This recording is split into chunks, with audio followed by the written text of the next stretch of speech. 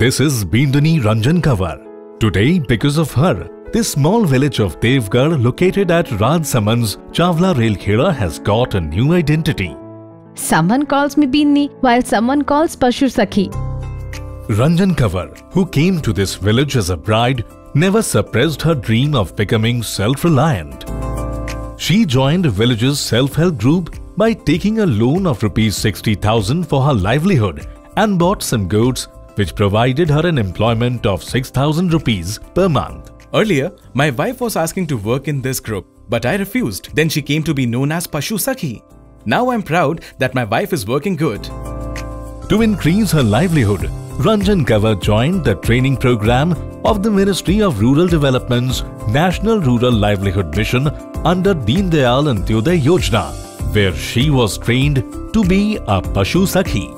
In the training, firstly, uh, we were told about getting vaccinations done, deworming, castration, um, animal maintenance, their eating and drinking patterns, animal remedial treatment, getting to know their diseases by just taking a look at them. All these uh, were taught to us.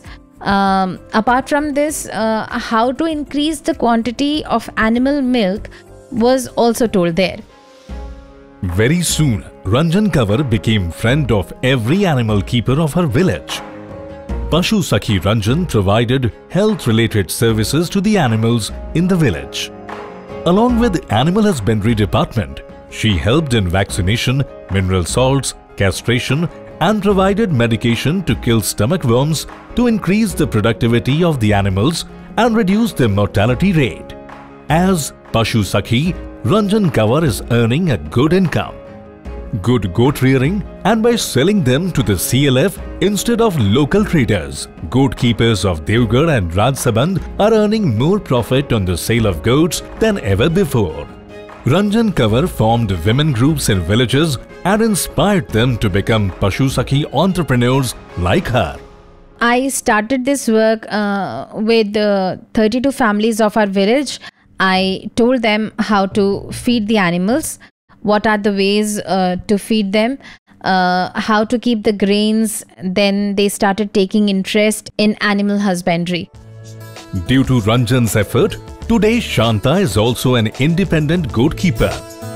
Shanta has 60 goats and they are her only means of livelihood.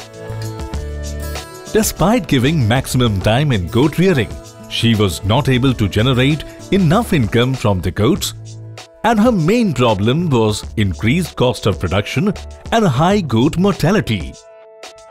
Ranjan told Shanta about the Pashu Sakhi training program. In the training, Shanta got necessary information related to diet management and bulk marketing of goats. Shanta adopted new methods of goat husbandry which resulted in improved health conditions of her goats and eventually led to increased milk production. I came back after being trained as Udyam Sakhi. There, I learned to take good care of goats. I told this to my neighbors that they should take care of goats and give them fodder only after proper weighing as, as this will profitable to us. The goats which Shanta used to rear are now taking care of her and her entire family. Similarly, Manju of Neemjhar village of Devgarh has now become a well-known goat keeper of the village. Manju joined self-help group and now she sells her goats through CLF, which provides income as per the weight of the goats. Manju made contacts with small and traditional goat keeper farmers of the region and provided information to them regarding breed improvement and organize sale of products. Uh, we are going to door to door and telling women that you should make the goat keeping place just like a house and also to give porridge to the baby goat after 2 to 3 months and uh, sell them only after weighing them so that the good money can be earned from it. The successful venture of these three Pashu Sakhi entrepreneurs have inspired many landless women of their village.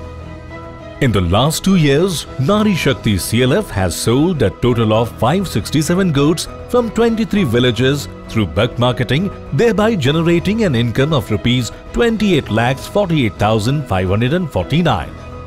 Due to the efforts of Ministry of Rural Development, National Rural Livelihood Mission, these rural women of Devgarh are now touching new heights in the field of bulk marketing.